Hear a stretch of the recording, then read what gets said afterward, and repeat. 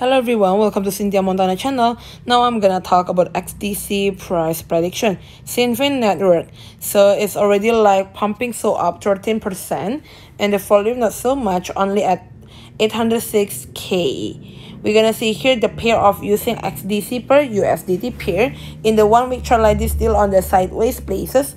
Still a bet for it. There is a stochastic natural position, not overbought, not oversold, and still below all of the moving average. So still bad for the XDC. So if you already profit, you can taking your profit first because still on the downtrend line or sideways places.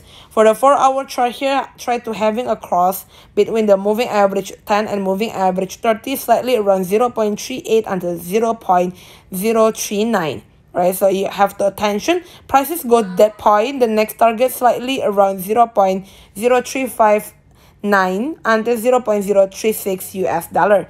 We're gonna go for the daily chart. Basically, the daily chart here is the second day having a green bar like this, but only hit on the moving average 10 0.041 US dollars so still having another opportunity to correction first and pumping with a big big volume. Because right now the volume is not so much. Thank you everyone for watching this video. Don't forget to like comment and subscribe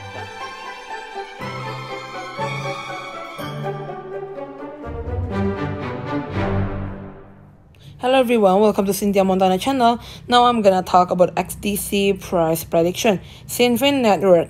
So it's already like pumping so up 13% and the volume not so much, only at 806k. We're gonna see here the pair of using XDC per USDT pair. In the one week chart like this still on the sideways places. Still a bet for it. There is a stochastic natural position, not overbought, not oversold, and still below all of the moving average. So still bad for the XDC. So if you already profit, you can taking your profit first because still on the downtrend line or sideways places. For the 4 hour chart here, try to having a cross between the moving average 10 and moving average 30 slightly around 0 0.38 until 0 0.039 right? So you have the attention. Prices go that point. The next target slightly around 0 0.0359 until 0 0.036 US dollar. We're gonna go for the daily chart. Basically, the daily chart here is the second day having a green bar like this, but only hit on the moving average 10 0.041 US dollars so still having another opportunity to correction first and pumping with a big big volume. Because right now the volume is not so much. Thank you everyone for watching this video. Don't forget to like comment and subscribe